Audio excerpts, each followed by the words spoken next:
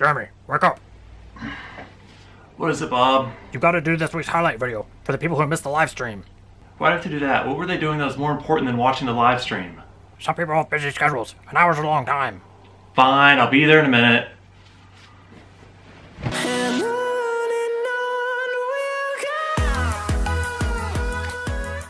Hi, I'm Jeremy from veganinteractions.com, and in the next 10 minutes, I'm going to try to answer the questions of whether or not we're born vegan and just taught speciesism, and whether or not our fellow animals have the capability to make moral decisions.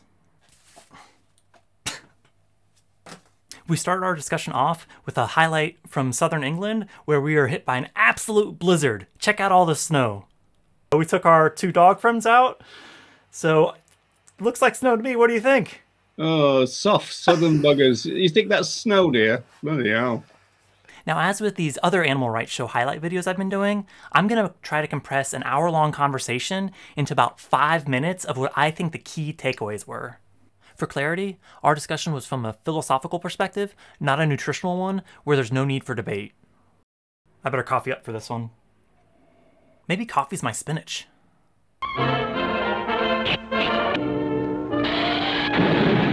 Bob, can we get five minutes on the clock, please? So, to help focus the discussion, we broke the conversation into humans versus other animals. Now, starting with human kids, we talked about how there's a spectrum of learning um, as someone develops, and whether or not there's a certain point in this development where they can be vegan. And Roger clarified that his main perspective is around actually human infants. We need to separate out infants and kids. And so my position is not really that kids can't be vegan, it's that infants can't be vegan. So this led us to try to answer the question of whether or not we're actually born good, which Roger had done some research around, specifically around the so-called baby lab research, which included infants as young as three months old. Are humans in, innately good, or are we a kind of blank slate, you know, the tabula rasa type idea, um, or are we bad and we have to have the kind of badness kind of knocked out of us.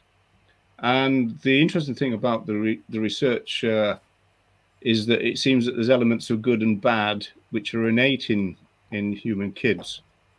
So, a key part of my position on Sunday was to try to present the case that we are, in fact, born good and that we need to try to tap into that potential and identify even infants as vegan or at least having the potential to be vegan which I think Roger balanced well by making the case that we're not necessarily born good. This is actually a very interesting position, this one, in the sense that, you know, we're born, we, we're kind of born good. We're free of hmm. discrimination, mm. we're free of hate. No one's born as, as a racist and all this kind of stuff. The baby lab stuff contradicts this, saying that um, their, their, their suggestion is at the drop of a hat, babies as young as five months will create us and them categories and that they will then start to use any difference whatsoever between themselves and the other to create the other and then once they've created the other they will discriminate against them so then we got into an interesting dialogue around nature versus nurture and I think it's an interesting concept to think that we're born free of discrimination. However, I'm not sure this is necessarily given for all humans.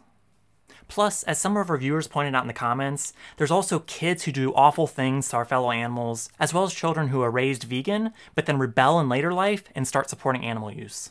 Now, from a genetic perspective, I see this being more of a spectrum, where on one end, in a non-ableist, um, clinical sort of way, we have 1% to 2% of people who are born psychopathic, and then perhaps a similar number who are made into sociopaths all the way to the other end of the spectrum where people are born quite empathetic and altruistic um, and put the interests of others before themselves quite naturally. We played a viral video clip which demonstrates that this is at least possible, where a five year old was proclaiming that they don't want to eat animals. I won't eat animals! Okay. We also briefly touched on the uh, concept of um, so called marginal cases and um, humans with perhaps cognitive disabilities and whether or not they can be vegan if they don't fully embrace or are capable of understanding the underpinning philosophy. Now, perhaps our position on this topic is reflective of our own personalities, because I know I'd like to personally think that we're born vegan, and if, or more likely than not, when we're taught speciesism, we have the potential to unlearn it and bring us back to the sense of morality that we've always embraced. Because to me, veganism at its core is about respect and nonviolence. Even if we chuck out all the stuff about the theory and, you know, fully understanding the philosophy, as it were, from a strategic perspective, doesn't it make a whole lot more sense to talk about infants being vegan than being on a plant diet? Because all of a sudden, we're no longer talking about veganism. To me, we should be talking about veganism and setting that as a clear end goal. And I personally think it's going to be harder to do that if we talk about plant diets instead of vegan children. Now, moving on to what I think is the core of this discussion, because it affects how we present other animals in our advocacy, is whether or not our fellow animals are capable of morality. Now, this is a huge topic that there's been a lot of research on, and I'm not going to try to cover that all here. But at a minimum, hopefully we can at least start to think about these things as animal advocates and the best ways in which we can build the respect for our fellow animals. Now, at the core of trying to answer the question of whether or not our fellow animals are capable of morality, I think the first thing to try to do is answer the question is it speciesist to assume we understand our fellow animals' sense of morality? And before we even got onto this topic, I was pleased to see um, some of the fellow animal advocates who are with us um, raise the same point. So, with this framing in mind, we started to ask ourselves the question of whether or not our fellow animals are capable of moral decision making. Or, as Roger brings up here, the concept of proto morality. That's where I'm just like, is that not imposing our own human superiority, saying, "Oh, you know, we're moral agents; they're just patients; well, they'll the never get it." The definition of vegan is veganism is a philosophy. That's the first four words, isn't it? Yeah. So, I mean, if we look at philosophy, as we did earlier, a theory or attitude, are we not? Are are, are the animals not capable of having a theory or an attitude, or guiding principles? Surely I they get... live by guiding principles in a similar way to us. At the, the, the Darwinian thing, differ in degree, not in, in kind. Yeah, possibly. I mean that. I mean that again is an interesting part of this debate, and that perhaps is the very thing that Sapontzis is trying to get at when he's talking about proto morality, because it is a question of degree and not kind.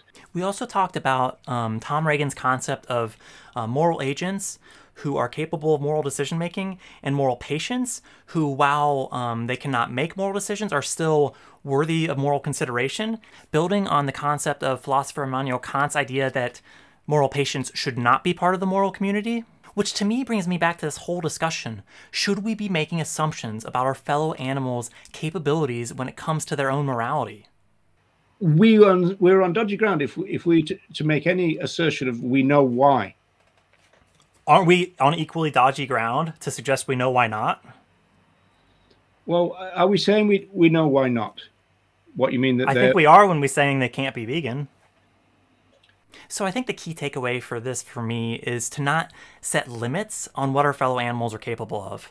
To me, I'd really like to see us focus on that gray area in between and simply create doubt and ask non-vegans that we may be outreaching, you know, what if? Because I think if we can get them engaged in a conversation, um, getting them to ponder whether or not our fellow animals are capable of morality, they're going to be much more likely to respect them through veganism than if we just say, oh, they're not capable of morality or they can't be vegan. To help further this discussion, we also played a clip of what looked to be um, like a dog person breaking up a fight between two cats.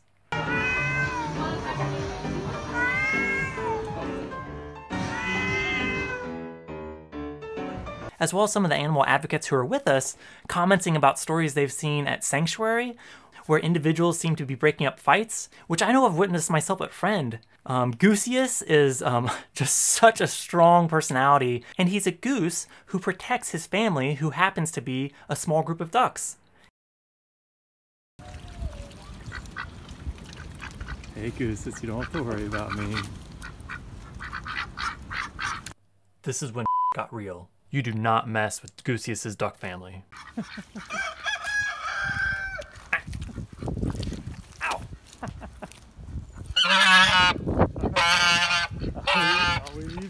Check out the cute little tail shake he does afterwards. Almost like the human equivalent of brushing his shoulder off and saying, That's right, you better keep your distance. he follows them everywhere they go, and I've seen him put himself between the ducks and potential danger. We even get foxes during the day, and I have no doubt that he would defend his duck friends even against a fox. So it seemed like we somewhat agreed on Sunday that we're on dodgy ground making any assumptions around this, which is why I think suggesting other animals aren't capable of morality or being vegan is helping to reinforce exactly what we're trying to dismantle. This whole sense of moral hierarchy and human superiority, or what's commonly referred to as speciesism. Now, as with all of our um, debate style formats, we also did a poll before and after just to see what everyone else was thinking and whether or not their opinion changed during the course of the conversation. Now, I think the one thing that was pointed out quite rightly is that we probably should have focused in on human infants because I think once we get into the three, four, five year old mark, there's no doubt that some of us embrace veganism, especially when it's taught to us as the default position. Now, when it comes to our fellow animals, what I thought was quite cool is that a number of people who had voted uh, not sure at the beginning of the discussion had actually moved to the idea of, well, maybe they do experience some sense of morality. Which to me says that this conversation was a success because I think we built respect for our fellow animals through this discussion by asking the question, what if they are capable of morality? Which I think we should also invite non vegans to consider throughout our animal advocacy. Now, as usual with our live streams, we also had a few laughs. I think that's your mum trying to work out why you were such a pain in the ass when you were a kid. But a lot of us have had firsthand experience with dogs. Why? Why dogs? Isn't that species hierarchy there? this is a, a, a, key point in a vegan's life. I think the, uh, the having a mom apologize for all the happy happy meals that were purchased for them. Arrest that woman immediately. If that dog would have lived with Gandhi, he would just in, interpose his body between the two. yeah, that's a good point. I'm taking your side here. I'm, I was gonna say, I'll just put my, put my hands up. You can argue it yourself. We're all people of goodwill, you know, present company excluded. And, uh, I knew you say that. Well, to that point, I've eaten our dog's food. Everything we give them, I've tried myself because I think it would be specious not to. Could you imagine thinking like, "Oh, I'm not gonna eat that. That's the dog's food," you know? Hmm. Did you? Did, not gonna not gonna touch that one, are you? did you have it? Did you have it in a bowl on the floor? Did you, Jeremy? So the last few weeks, I know I've really enjoyed doing these summary videos, and from reading your comments, it seems like you're enjoying them too. So if you can help me to combat that nasty anti-vegan algorithm by commenting, liking, and subscribing, it would really help me out. And perhaps one of the biggest things you can do is to message this as a link to one of your fellow animal advocates. So I'm not expecting these videos to blow up or go viral or anything like that. The whole idea is for these videos to serve as a bit of a catalyst to help us all to be more mindful as we're advocating for our fellow animals to get the respect they deserve. Thank you for your support and all you do for our fellow animals, and I'll see you in the next one. For free resources, such as a discussion guide and language document, check out veganinteractions.com. Thanks for watching.